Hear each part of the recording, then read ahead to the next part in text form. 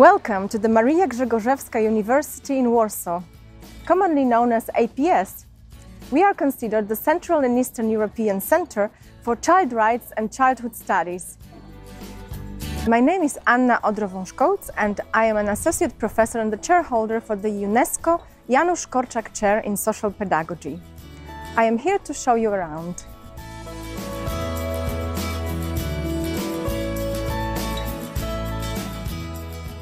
Being an academic hub of children's rights and human rights focused on social inclusion, we draw from the pedagogical heritage of two educational icons Janusz Korczak and Maria Grzegorzewska.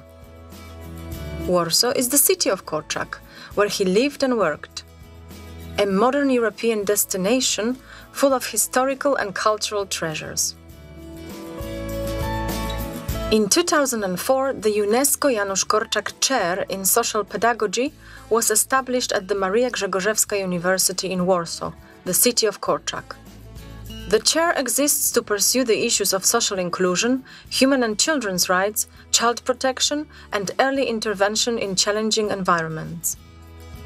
Janusz Korczak was a medical doctor, a journalist, children's books writer, philanthropist, and children's rights advocate who is known mainly for his pedagogical heritage, his activities as a founder and a head of boarding schools for orphans, and of course for his revolutionary ideas about children in society that bridged the ethnic, religious, and national divisions of the time. The university is also a hub of Maria Grzegorzewska's heritage, oriented towards the inclusion of people with special educational needs and with physical disabilities. She was the first lecturer in Poland who organized special training for teachers who were to work with SEN children and adults. Her institute was formed in 1922 and has been transformed into the Maria Grzegorzewska University.